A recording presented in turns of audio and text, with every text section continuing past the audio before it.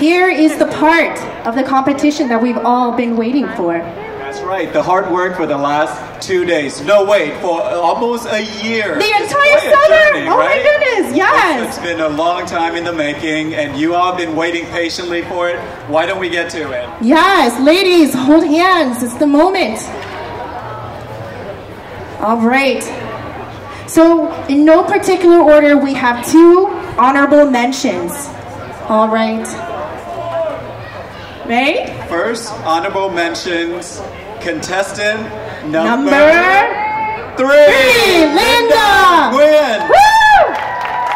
Linda and good And- honorable.